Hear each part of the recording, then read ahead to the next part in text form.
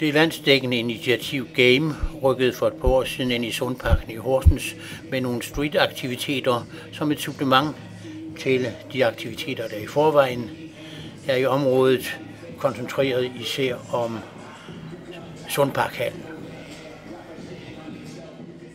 Men game, det er jo aktiviteter, vi har herude i Sundparken om sommeren for børn og unge, som er sådan et, øh, det udspringer i noget basket, som så er blevet udviklet til noget mere street og, og nogle ting i, i, i den retning. Men alt sammen sådan noget på gadeplan, så det går ud på at aktivere de unge mennesker nogle gange om ugen, øh, sommeren over, så de har noget at give sig til, så de ikke render og keder sig. Men game er ikke bare i Sundparken, det er jo flere steder i Danmark. Game er rigtig mange steder rundt omkring i øh, udsatte boligområder. Helt hvor mange det lige præcis er, jeg har ikke styr på, men det er i hvert fald over 20.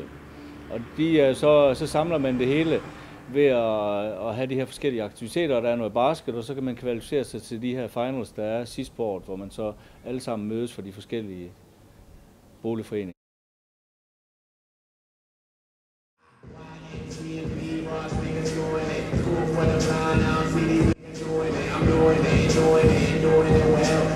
Niggas wanna test me, more who wanna fail. We shit like a bully bitch, saved by the bell. If you scared, go to church, I see you in hell. And your girl, she a flip, give me head and tail. Everybody fake, so I got real to sell. beskæftiger mig med street dance, øh, fordi jeg har gået til det i rigtig mange år. Øh, jeg startede selv i en klub, og så er jeg blevet selvstændig træner nu, og nu giver jeg så det videre, som jeg selv lærte for de otte år siden. Øhm, så det er noget, jeg selv har udviklet mig og arbejdet mig op til at være træner i. Er det kun piger, der deltager? Øh, I game der er det kun piger, der deltager, øhm, men der er andre hold også i Horsens, hvor der er, der er både er drenge og piger. Men lige her i Sundparken, der er det kun for piger. Og er det noget, der tiltaler pigerne at være med i? Det gør det i hvert fald. Øh, pigerne er rigtig glade for det her i øh, Sundparken, og de kommer, og det, de, de, de faste dansere, der kommer, øh, og de nyder det, og de kender alle sammen hinanden, så de synes, det er rigtig sjovt at gå til det.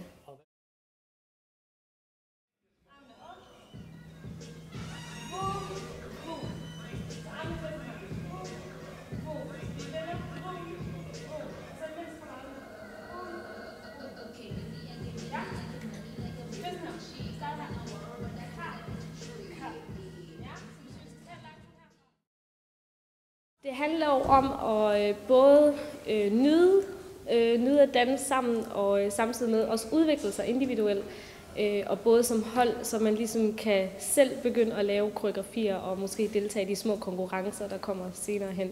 Så det handler både om udviklingen og sammenholdet, og selvfølgelig at have det sjovt at nyde dansen. Men Game har et arrangement til sidst. Det har de. Game de laver et øh, arrangement, der hedder Game Finals, øh, som er DM-kvalifikationer i basket, og i øh, street soccer. Øhm, og så kører der ligesom en dans, som er i august, og det bliver set som ligesom en sæsonafslutning for hele sæsonen, hvor alle zonerne i hele Danmark de ligesom samles, og så bliver der dyrket en masse dans og basket og fodbold og parkour. Så der får pigerne også lov til at danse øh, sammen med alle andre piger fra de andre zoner i Danmark.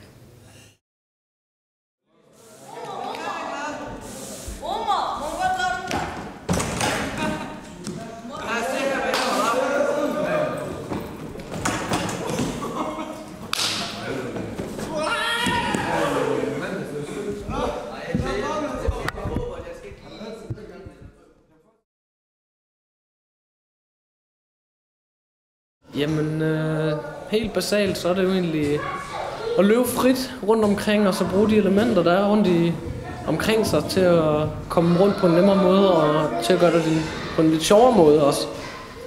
Så det, det er mere eller mindre det, altså at bruge, bruge de ting omkring sig.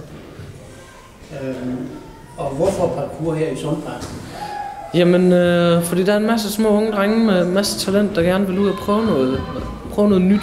Altså, de er alle sammen i forvejen bekendt med fodbold, basketball og parkour. Det er også noget nyt, er kommet til her, i hvert fald i Danmark. Efterhånden så har de også lavet en masse baner over i København, og det er en kultur, der er ved at sprede sig rundt omkring. Og så har jeg selv gået til det. Jeg tænker, det vil være en mulighed at lære dem også. Det vil de også gerne. Kan man lave parkour derinde i Sundparken her? Det kan man godt, men altså, jeg kan, jeg kan lære dem de mest basale ting, men ellers så er det jo lidt små begrænset for at være ærlig. Altså, men vi skal jo ud. Parkour i sig selv er jo også essensen i at komme ud og gøre det. Det er jo ikke så meget, man kan bygge baner til det. Du bruger de elementer, der er omkring dig, til at kunne komme frem, og det er det, der er sjovt ved det. Øh, I stedet for sådan en betonplatform og stålrør, og du skal hoppe frem og tilbage. Det er fint nok, men man skal bruge de ting, der er omkring på gaden. Det, det I laver her i dag, det ligner en lille smule redskabsgymnastik. Det gør det netop. Men i forhold til redskabsgymnastik, så tager vi det altså et skridt længere. Øh, grund til, at jeg også træner på den her måde, det er for at give børn øh, en form for balance, altså så de kan få øvelser i det, i deres måde at lande på, deres måde at bevæge sig på. Fordi når så engang tager dem ud for at prøve det af, så er det ikke så farligt for dem. Altså, der er ikke så stor risiko for at brække hænder, ben, ankler, håndled. Så de skal have styr på det basale, før vi kan komme ud og så prøve det rigtigt. Øh, er dit hold her det er så klar til at deltage i konkurrencen på landsplan, når game er klar til det? Jamen, øh, det kan godt ske. Nu må vi jo så se, øh, hvor lang tid der er til. Jeg har jo kun haft dem et, et lille stykke tid, men øh, jo, det, det kan da godt ske, at jeg skal have meldt dem ind til det. Men altså, først og fremmest så handler det ikke om konkurrence. Det handler egentlig bare om at have det sjovt, og det er også derfor, jeg er her. Altså, de skal bare nyde det, så, så længe de har det sjovt, så har jeg det også sjovt. Ligger det sådan bag det også, at bevægelse er sund? Altså ligger også et sundt Bestemt, bestemt. Også bare i sig selv. Øh, træningen består jo i, og du træner jo alle muskelgrupper nærmest i kroppen, fordi du hele tiden anspænder alt, øh, når, du, når du hopper. Så både sundt, og det, det er godt for dit helbred, og det er godt for din motion, og så kommer du også ud og øver dig, og så lærer du nogle andre ting, og Hvis du er god du får masser af bold. Det er meget roligt. Men det er ikke roligt. foreninger. Hvordan finansieres det her? Det er finansieres af os selv, altså det- som udgangspunkt nu. Øh, Til at starte med kom Game med nogle flere midler, de er ved at omstrukturere i forhold til, øh, hvordan de gør, så vi skal selv være med til at finansiere. Og dem har, får vi så øh, i år, og sidste år har vi fået dem betalt af paragraf 18 midler. Og øh, nu her også ved hjælp af Imagine Horsens, som hjælper med at starte to nye zoner op her i Horsens. Og hvor skal de zoner så være? De skal være oppe i Vestbyen og ude på Søndermarken, øh, som også er, er to øh, lettere belastede områder her i Horsens. Så, så vil vi prøve at få noget op at køre de to steder også, så vi kan prøve at få de unge mennesker på gadeplan til at dyrke noget sport og måske kunne samle dem sammen. Det her det er stadigvæk hovedzonen, men, men de andre vil så også have nogle af de samme aktiviteter, og så kan man sådan prøve at trække dem lidt sammen, så vi på en positiv måde kan lære hinanden at kende. Hvad er din rolle i det?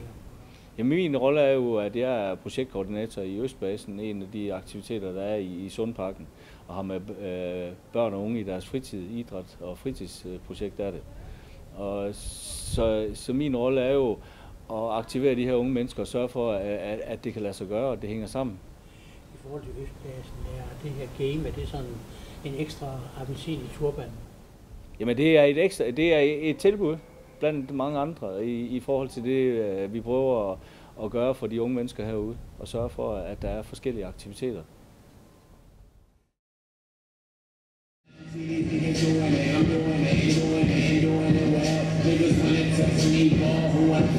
Beat like a bully bitch, get saved by the bell. If you scared, go to church, I see you in hell. And your girl, she a flick,